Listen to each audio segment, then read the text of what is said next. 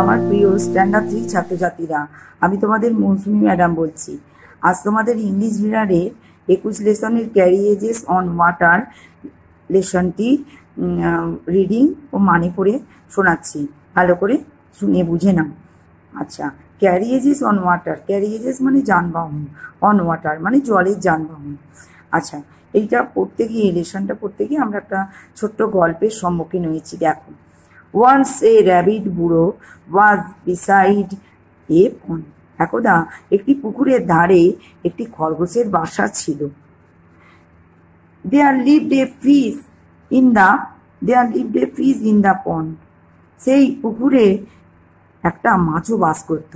Rabbit was the best friend of the fish সেই মাছটার সবচেয়ে ভালো বন্ধু ছিল ওই খরগোশটা।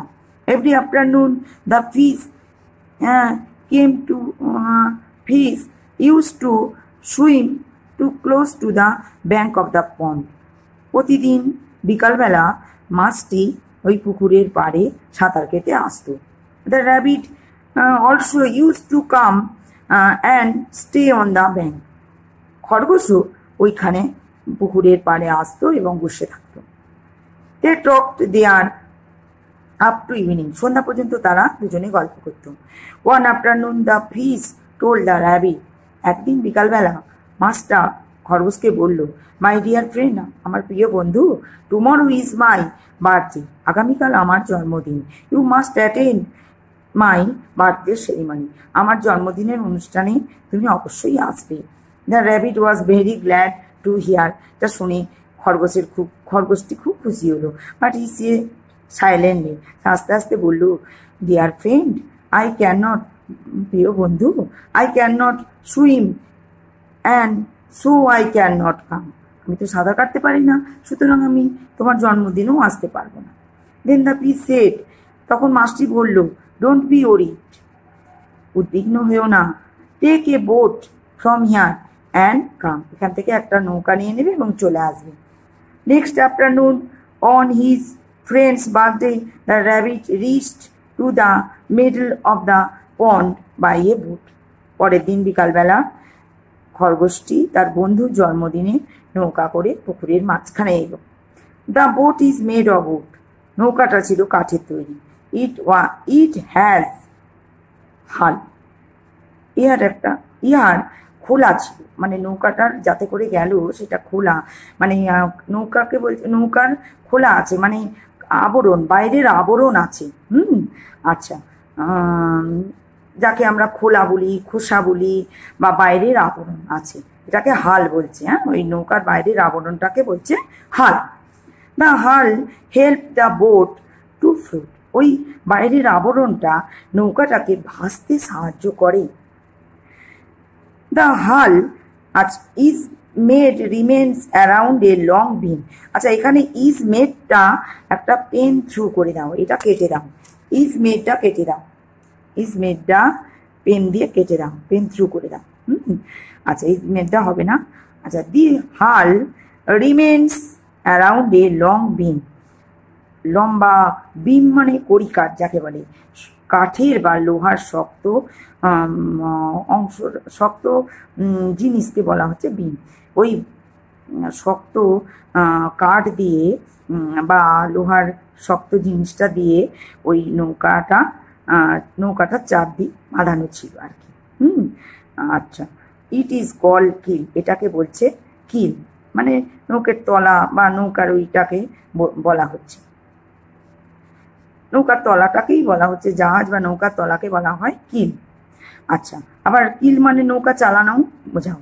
আচ্ছা দেখো, তাহলে এখানে হচ্ছে ওই যে শক্ত অংশটা দিয়ে নৌকার চারধারটা বাঁধানো ছিল, ওইটাকেই বলছে কিল হ্যাঁ বা নৌকার তলাটাকেও কিল বলে। আচ্ছা the keel helps the boat to change its direction দিক পরিবর্তন করতে, নৌকার দিক পরিবর্তন করতে সাহায্য করে। ওই কিল। কিল মানে ওই যে নৌকা চালাতে, তার মানে নৌকা, কিল মানে নৌকা চালানো, তার মানে নৌকা চালাতে সাহায্য করে। দিক পরিবর্তন করার মানে নৌকাটা এদিক থেকে ওদিক যাবে। তাই তো? দিক পরিবর্তন করতে সাহায্য করে ওই কিল। আচ্ছা। The rabbit enjoyed the ride এই ভ্রমণটা, নৌকায় চড়াটা ওর খুব উপভোগ করল। His friend fish gave him some edible water weed ওকে কিছু পরগাছা, উদ্ভিদ, জলে জন্মায় এরকম খেতে দিল। আচ্ছা খেতে দিয়েছে বন্ধুর জন্মদিনে। আচ্ছা then the rabbit then the rabbit ate then the rabbit ate and listen the stories from the fish's mother rabbit তখন ওই যে খাবারগুলো খেতে দিয়েছে, সেইগুলো খেলো এবং ওই মাছেদের মায়ের কাছ থেকে গল্প শুনলো। কিসের গল্প শুনো? কিসের গল্প শুনলো? সি টোল মানে সি বলতে ওই মাছেদের মা। She told the rabbit about the steamer.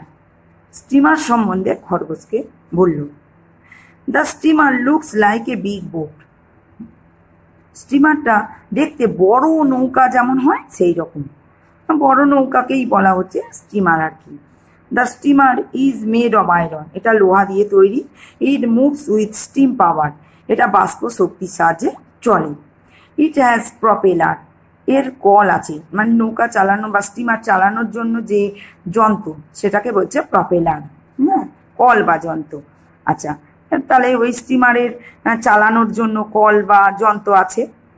It helps it helps the steamer to move through water জলের মধ্য দিয়ে এগিয়ে যেতে সাহায্য করে স্টিমারকে ওই কলগুলো প্রপেলার আচ্ছা it carries passenger and goods also আচ্ছা ওই স্টিমার কি বহন করে? প্যাসেঞ্জার লোকজনও বহন করে, আর গুডস মানে জিনিস জিনিস বহন করে, মালপত্র বহন করে।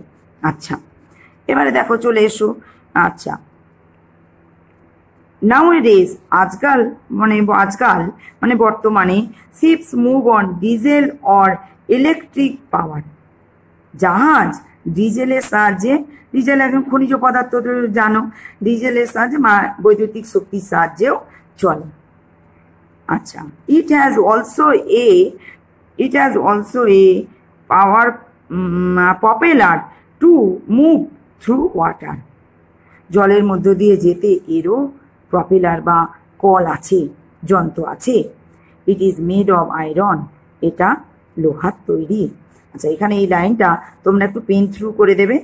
The ship have many keels and hulls এটা কেটে দাও। দিয়ে ওপরে তোমরা লিখে নাও the ship has hull and keel the ship has hull and keel আচ্ছা শিপেরও ওই হাল আছে মানে কাঠামো আছে, আর ওই শক্ত লোহার বা কাঠে লোহারই হবে শিপে, শিপের ক্ষেত্রে লোহার ওই বিম মতো আছে আর কি করি যাকে বলে। আচ্ছা then the fish describe the rabbit about a vessel vessel মানে বড় জাহাজ, হুম? তখন ওই মা মানে মাছেদের মা বলল, ভেসেলের সম্বন্ধে, বড় জাহাজ সম্পর্কে গল্প করল। এ ভেসেল ভেসেল মানে পাত্রও হয়, ভেসেল মানে বড় জাহাজ হয়। Is a giant side boat মানে বড় ধরনের জায়ান্ট মানে দৈত্য, দৈত্যের আকারের নৌকাকে বলা হচ্ছে ভেসেল ভেসেল। আচ্ছা it carries heavy loads like cars jeeps from one place to another এটা বয়ে নিয়ে যায়, ভেসেলগুলো কি বহন করে? ভেসেল সাধারণত ওই মাল বহন করে মানে কার কার মানে গাড়ি জিপ এক জায়গা থেকে অন্য জায়গায় নিয়ে যায়। আচ্ছা। মালপত্র বড় ধরনের। আচ্ছা। But it has no roof এই ভেসেলের কিন্তু ছাদ নেই। It has also a propeller এরও ওই নোক চালানোর জন্য কল আছে বা যন্ত্র আছে। It moves on diesel power also এই ভেসেলটা ডিজেল শক্তিতে চলে। তাহলে এই পর্যন্ত ভালো করে তোমরা পড়বে, আবার পড়বে, ভালো করে রিডিংটা বুঝিয়ে দিলাম। আর ওয়ার্ড মিনিংগুলো পড়বে এক্সট্রা ওয়ার্ড মিনিংও দিয়ে দিয়েছি প্রশ্নও দিয়ে দিয়েছি, সব পড়বে। আর যদি কিছু অসুবিধে হয়, বুঝতে না পারো, নিচে তো আমাদের ফোন নাম্বার দেওয়া আছে ফোন নাম্বারে ফোন করলে আবার ভালো করে বুঝিয়ে দেবো। যেখানটা বুঝতে পারবে না, বুঝিয়ে দেবো। হুম, আর তাহলে পুজোটা ভালো করে কাটিও। স্বাস্থ্যবিধি মানবে, নিয়ম মানবে, মেনে ঠাকুর দেখতে গেলে যাবে। হুম ভালো থেকো সুস্থ থেকো। হুম আবার পরে দেখা হবে।